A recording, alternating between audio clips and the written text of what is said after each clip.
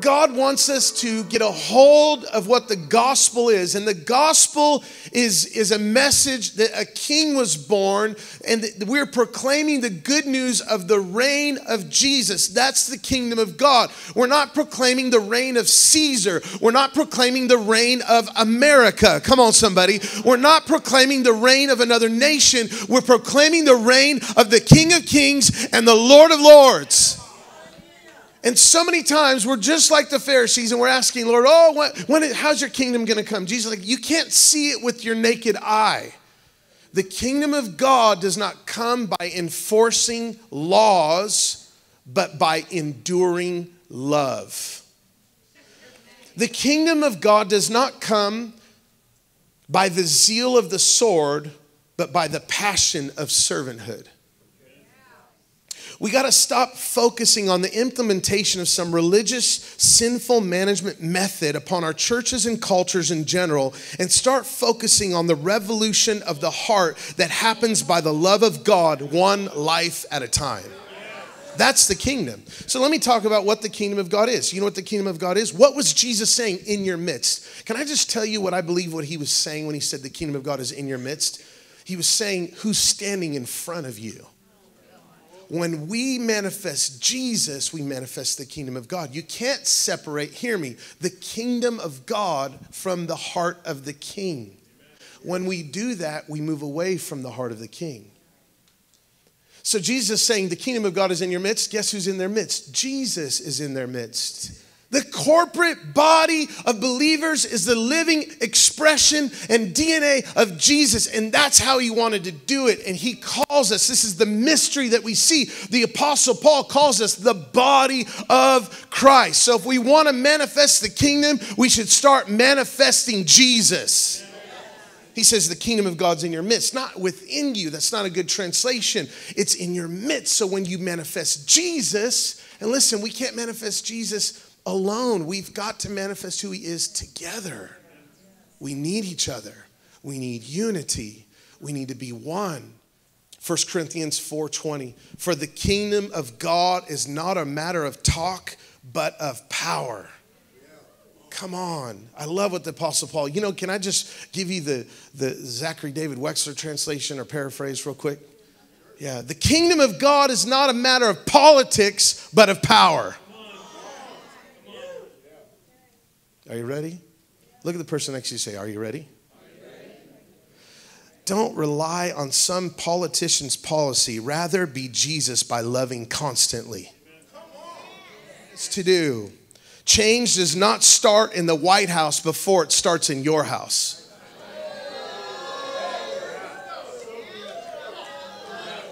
But laws are not going to change the world. Love is going to change the world one heart at a time.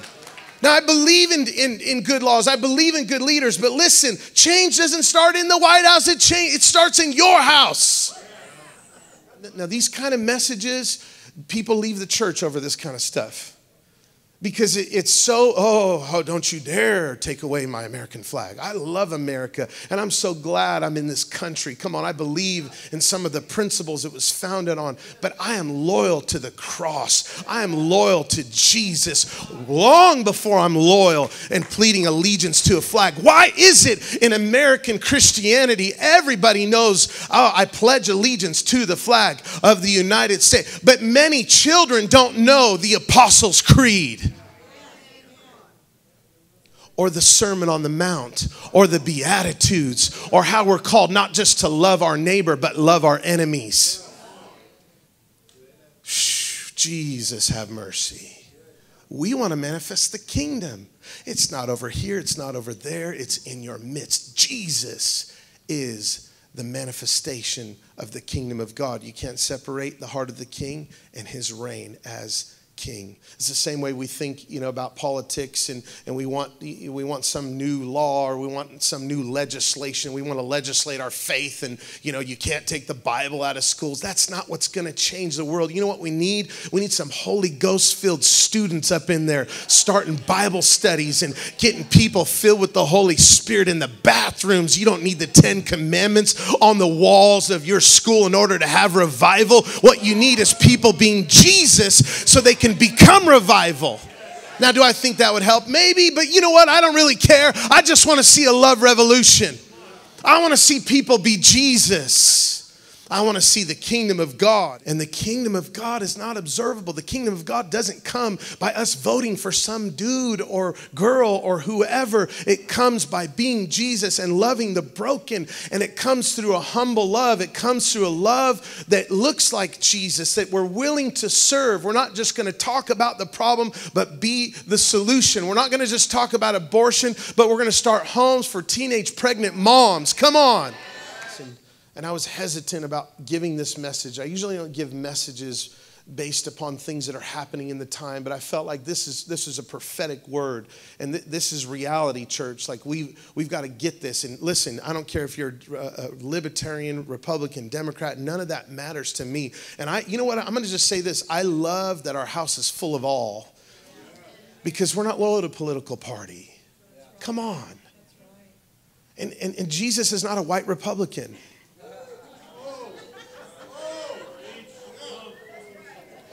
and, and the, the mixture of the powers that be in the kingdom of God. Listen to my heart this morning. We have to understand that in order to manifest the kingdom, we've got to know what the kingdom is and what the kingdom looks like. And sometimes it's okay to say this I'm not sure what it looks like, but I want to know. You know, that was my wife and I, that's what we said when we first started the church. I don't know what real church looks like, but I want to know. I don't know what real fellowship looks like because sometimes I'm not real and it's exhausting when I'm not real. If you're trying to be somebody else, it's so exhausting. If you're tired, just be yourself. And I said, honey, let's have real fellowship. Let's let the walls down. Let's have fierce conversations. Well, don't talk about religious and poli- religion and politics. No, let's talk about, let's answer the tough questions. This is why we have the School of Theology and Supernatural Living. We answer the tough questions. And I truly believe if we really want to change the world, then let's follow the one who already changed the world.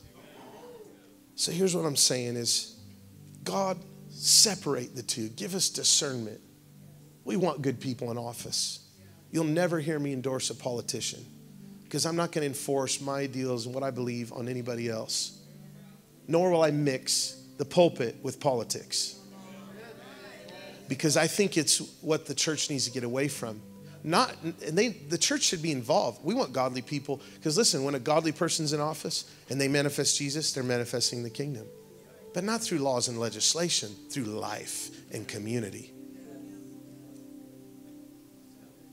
We want godly people in office. We want, but we, we're not voting in the Messiah, guys. Jesus is the hope of the world not some politician. And so here's what I'm saying may we humble ourselves and may we orient our hearts at the humility of the love of God so that we can become Jesus. Your orientation determines your manifestation. If you're oriented at the zeal of the sword, then you're going to manifest the zeal of the sword. But if you're oriented at the passion of servanthood, you're going to manifest what being a servant really is. And the world needs Jesus, not a politician. The world needs Christians to rise up and become the body. Jesus even said this in John 3. He didn't say, unless you're born again, you can't enter the kingdom of God. He didn't say that. He said, you can't see the kingdom of God. Now, is it possible that Christians, you ready? I'm going to drop a bomb on you. Christians have been looking with their naked eye at what the kingdom is, but they're missing it because it's not observable with the naked eye. Instead of looking at and seeing what the kingdom of is with their born again hearts. Jesus said, unless you're born again, you can't even see the kingdom of God. Read it, John 3. What? It doesn't say unless you're born again, you can't go to heaven. That's our whole method, just throws our whole method out the window, right? I believe in the born again experience. I believe in water baptism. I believe in opening your heart to God. I believe in, but listen, he says, if you you can't even see the kingdom.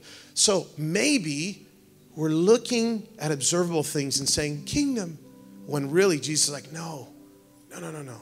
When you know you're my son, when you, you're born of God, when you're born from above and you see with those eyes, then you can see what the kingdom really is.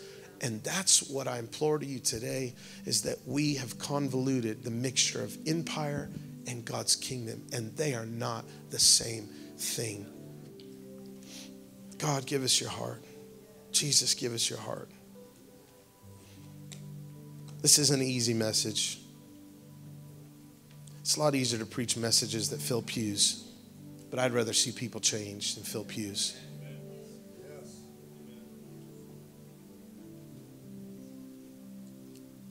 Please don't get me wrong. I believe that we should vote and be involved, but that shouldn't be our number one priority. Change doesn't start in the White House, it starts in our house. God, have mercy. We've convoluted the kingdom with the empires. The thing you came to turn upside down, we've made right side up and made it preeminent over everything else. Matter of fact, some Christians are shunned if they don't vote, or shunned if they're not Republican, or shunned if they're not this or that. How about we just be Jesus? How about we get back to following the one who changed the world so we can be world changers? And do it with humble love.